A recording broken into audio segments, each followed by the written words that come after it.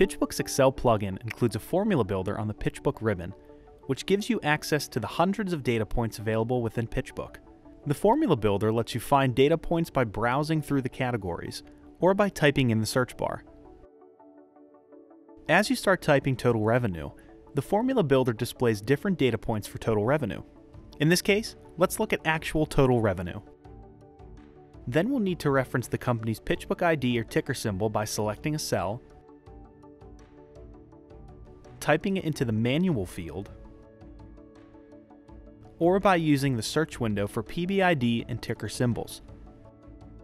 In this example, we'll use the period option to select Q3 of 2020.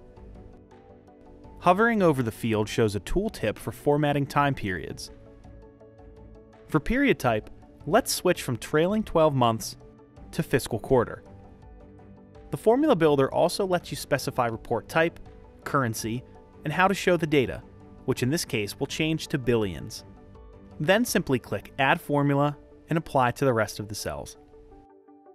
For more tips on using the Excel plugin, visit our Help Center.